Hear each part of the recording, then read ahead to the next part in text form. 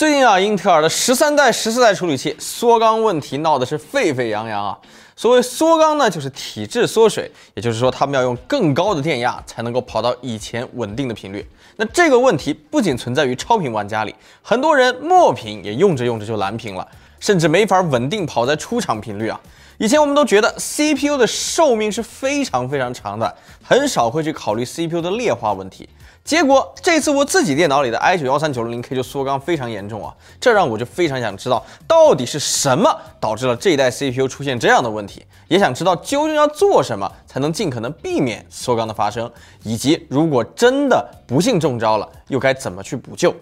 先说一个很重要的事实啊，这个幺三六零零 K 以上的这些十三代和十四代 CPU。本质上都属于 Raptor Lake 这同一代 CPU 的不同型号，而 Raptor Lake S 处理器的缩缸问题绝对是客观存在的，而且是越高端的频率越高的型号，那么情况就越严重。也就是说，i9 就明显会比 i5 更容易缩缸。但为什么会这样呢？这就要来聊聊啊，这代 CPU 上到底发生了什么了？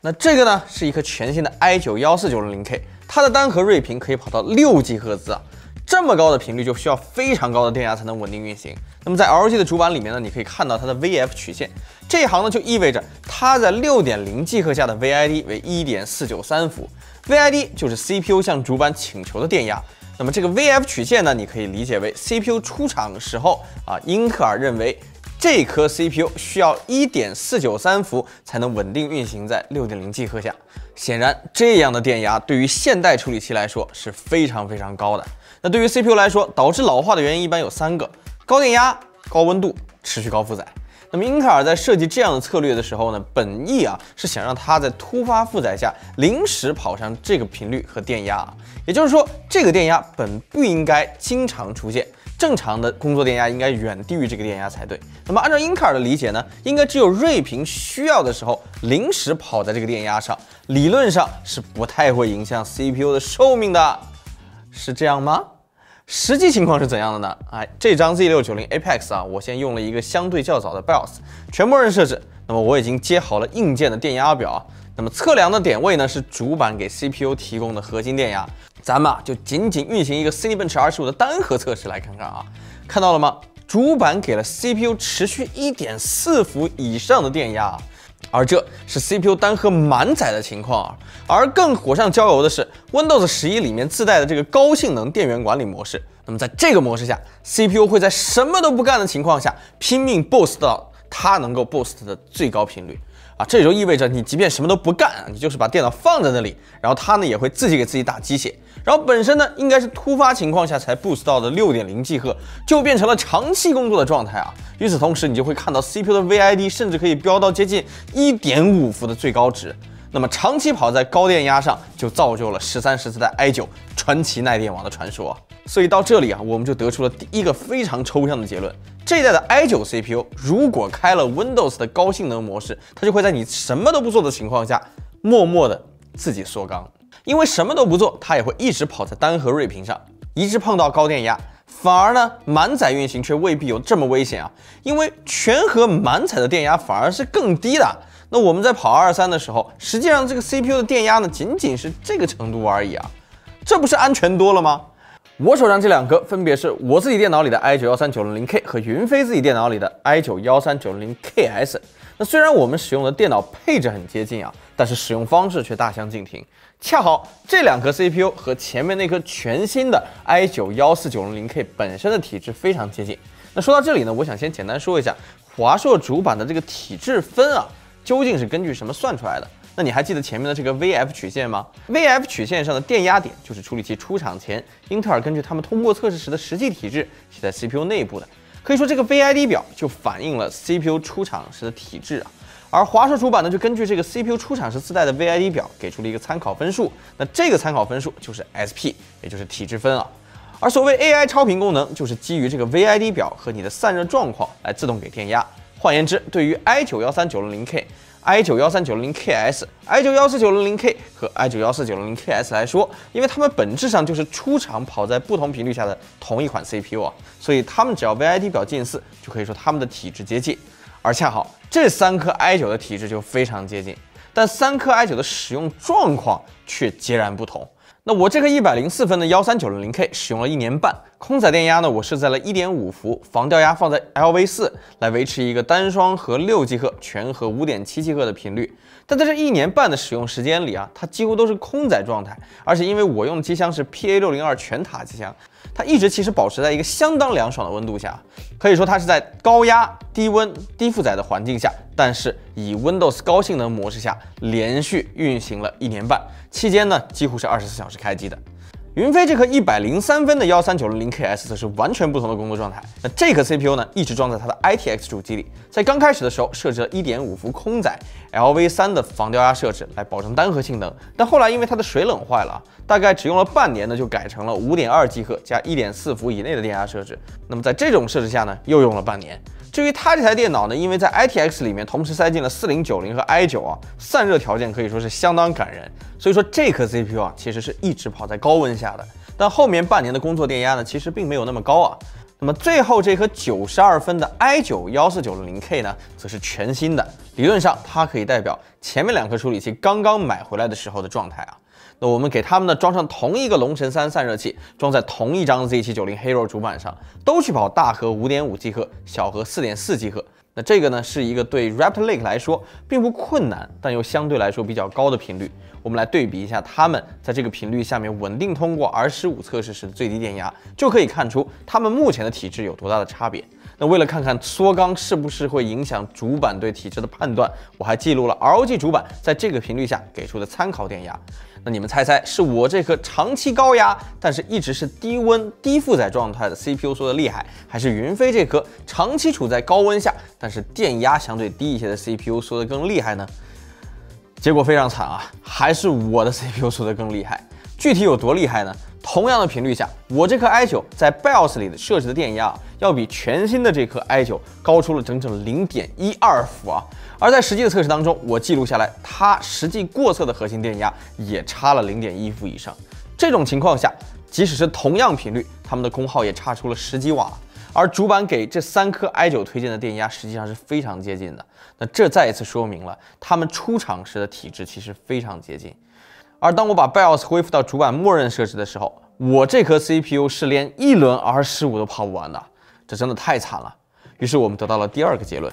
这代 CPU 缩缸啊，它并不会影响主板给出的体质分，因为这个体质分所反映的并不是目前 CPU 的状态，而是它出厂时固件写好的 VID。那这个 VID 表呢，则是英特尔出厂时啊就已经测好的体质表，它并不会随着你的使用而改变。所以主板的体质分只能反映 CPU 全新状态下的体质，它并不能够反映老化后的体质。那你可能并没有什么概念啊。你看这颗 i9 加点电压不还是能跑五点五吗？哎，自适应一下就完事儿了，对吧？那我又找出了一颗 i5 幺三六零零 KF，这是在售最便宜的 Raptor Lake S 处理器了。结果你猜怎么着？都关闭到六加八核的情况下，这颗缩了缸的 i9 跑同样的频率，甚至比 i5 要用的电压还高啊！也就是说，这颗 i9 的体质已经缩到了还不如 i5 的程度啊！很难想象，如果这颗 CPU 再这样用一两年，会变成什么样？当然，我这颗 CPU 缩成这样的很大一部分原因在于我给的空载电压的确太高了，一点五伏的空载电压显然不是一个健康的电压。那云飞这颗 CPU 的情况呢，显然好很多。即便它的 CPU 长期运行在八十度以上的环境下，那老化的情况也比我这颗要好很多。而我的 CPU 呢，生产自二零二二年中，它并不是网传所谓氧化的那个批次啊。那这再次印证了，造成这代处理器缩缸的真正罪魁祸首，其实就是过高的电压。那这下呢，我们就可以简单总结一下造成 i9 大面积缩缸的根本性原因了。英特尔在这两代 i9 上过于激进的频率策略，主板厂商所谓的默认设置也并没有遵循芯片厂商的设计规范，而 Windows 的高性能电源管理策略也进一步加速了老化的发生。说到底啊，英特尔为了争夺单核性能之王的宝座，给 i9 定了一个出厂规定的 boost 频率。单核六点零 G 赫啊，用一点五伏去跑六点零 G 赫，到底是什么天才策略啊？英特尔呢也知道这样并不安全，于是他们加入了各种限制，比如 CEP，比如 CEE，比如 TVB。但是板厂为了卷跑分，他们已经纷纷解开了这些限制。毕竟没人想自家主板跑分跑不过别人家的吧？那英特尔之前呢，其实也并没有强制推行所谓真正的默认设置，结果就是你所使用的你认为是板厂的默认设置，其实就已经在加压超频了。那在分数的狂欢背后啊，换来的就是这些不堪重负、早早老化的 CPU。哎呀，该给传奇耐电王的故事画上一个句号了。了解了为什么缩缸，了解了缩缸之后的 CPU 究竟会变成什么样。那么在我以身试法之后，我总结出了一些经验啊。如果刚好你也很不幸遇到了缩缸的情况，又或者说你很想知道怎么做才能避免缩缸情况的发生，希望我的经验能够帮助到你。首先，怎么判断你的 CPU 缩缸了呢？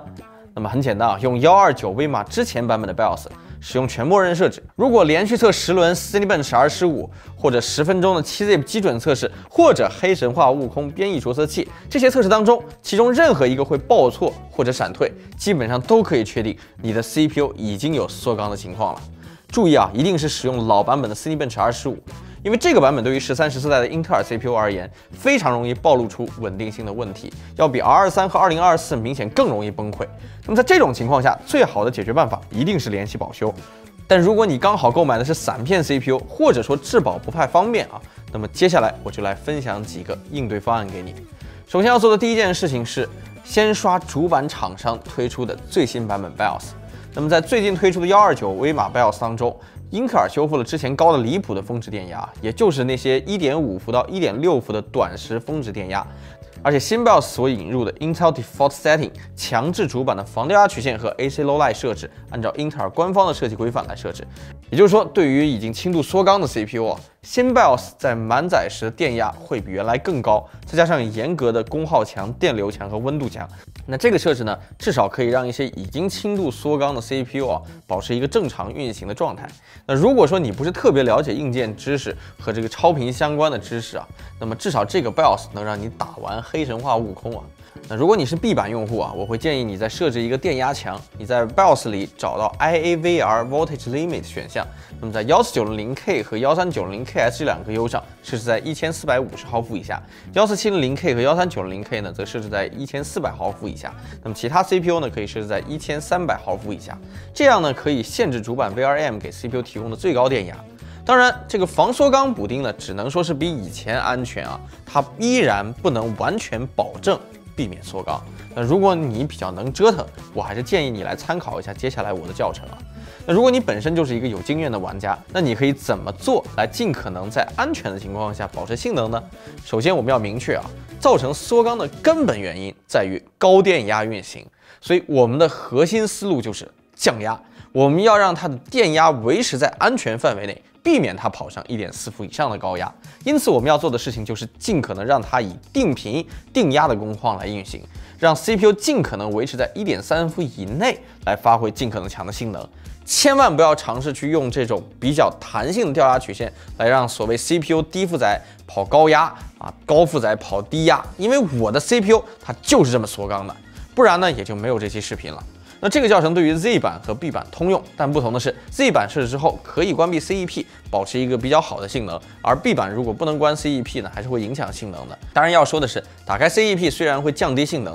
但是可以进一步减少缩缸的概率啊。并且 B 版啊，如果你用的是幺三六零零 K 这类比较低频的 CPU，可能你就不能固定在更高的频率上了。那这一点呢，你也需要注意。好，第一步啊，你需要知道你手里的 CPU 现在到底是个什么体质。那我个人呢，建议固定在一个大核五点二 G 赫、小核四点二 G 赫左右这样一个相对安全保守的频率上。固定频率之后，把防掉压开到一个相对比较平，但也不是全平的档位。比如华硕主板的用户呢，我会比较建议你使用 Level 六这一档。把 VRM 供电电压呢设置到一点三伏啊，注意一定是设 VRM 电压啊。我们的核心思路是让主板不要让 CPU 成为超级耐电王。那你要是改了底下的 SVID 呢，其实你改的是 CPU 的请求电压。那主板该怎么电，它还得怎么电。那在一点三伏 Level 六的设置下面呢，CPU 满载时的实际核心电压就已经掉压到低于一点二伏了。那这个设置下的短时温度呢，即便是 i9 加百元风冷的组合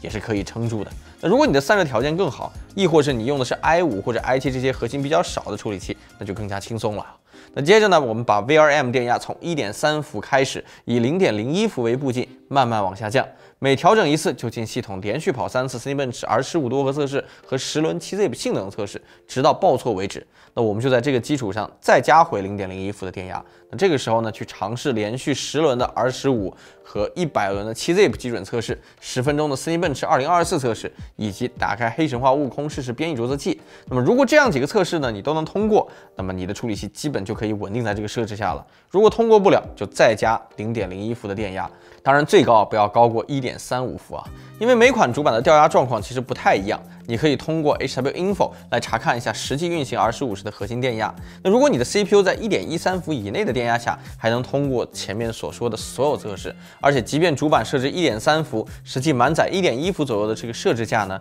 满载温度也没超过九十度。那你可以再试一试，把频率固定在大核五点三、小核四点二下，再重复一次刚才的操作，来找到五点三、四点二或者五点三、四点三，甚至是五点四、四点四频率下最低稳定的电压。你可以根据你的散热条件和 CPU 目前的体质来探索探索它在这个一点三伏安全电压下的极限。那么到了这一步，你就已经找到了你的 CPU 在安全电压下实际相对稳定运行的频率了。但到这里，我们其实还没有完全设置好，因为我们还要最后给 CPU 上一个双保险啊。在 BIOS 里，你找到一个叫 IAVR Voltage Limit 的选项，把它设置到一千三百毫伏，这样呢就可以保证主板给 CPU 供电的最大电压永远都不会超过一点三伏。这样一来呢，我们就完成了一个相当安全的定压定频设置。那么在这样的设置下，缩缸后的 CPU 可以保留几成的功率呢？我这颗缩缸比较严重的 i 九幺三九零零 K，那么我最终呢稳定在了主板设置一点二九伏，实际满载电压一点一八伏，大核五点三，小核四点三的频率下，那此时的 C Bench R 三成绩呢也可以做到三万九千四百分。也就是说，这颗缩缸严重的 i 九幺三九零零 K，在这样的安全电压下的 R 三成绩，甚至可以比应用 Intel Default Setting 的 i 九幺四九零零 K 更高啊！而实际运行时，无论你跑什么负载，这颗 CPU 的电压甚至最高都没能超过一点二八伏，这就可以算是非常安全的电压了。另外一点要注意的是，最好不要开启 Windows 的高性能或者卓越性能模式，因为它会让你的 CPU 一直尝试去 boost 到最高频率啊，也会增加缩缸的可能性。那么我还是要再强调一下，咱们的核心逻辑是尽量让 CPU 一直工作在安全电压内，不要让你的 CPU 成为超级耐电王。那么到这里，你应该就已经了解了如何对你的 CPU 进行自救。但作为用户啊，这最多只能算是一种缓兵之计，也只能算是无奈之举。在我看来，造成这次大规模缩缸问题的根本原因是目前英特尔 CPU 出厂时的频率过于灰烬了。还记得当年奔腾四时代，英特尔止步三点八 G 赫频率，推出了酷睿，并没有强行让它跑上四 G 赫。而如今的英特尔似乎已经忘记了当年的痛了。五点八 G 赫睿频的幺三九零零 K 已经非常夸张了，而幺四九零零 K 和 KS 甚至直接干到了六 G 赫和六点二 G 赫，用恐怖的电压换恐怖的频率，而实际消费者真的能感知到单核疯狂超频所带来的性能提升吗？单核六 G 赫的幺四九零零 K 真的能让你感觉到比五点五 G 赫的幺三七零零 K 响应速度就更快吗？还是说这只是为了市场营销宣传而做出的决定呢？好在目前来看啊，下代英特尔的桌面版 Ultra 处理器似乎不会再不顾一切的去跑六 G 赫兹了。希望这是理性的回归，毕竟性能再强，一台好电脑，我们终究还是希望能够多用几年。好了，希望这期视频有帮助到你啊。那么以上就是本期节目的全部内容了。喜欢我们的节目，别忘长按点赞键来个素质三连，也别忘了关注我们的频道。那么我们下期节目再见了，也祝你的 CPU 不要缩缸。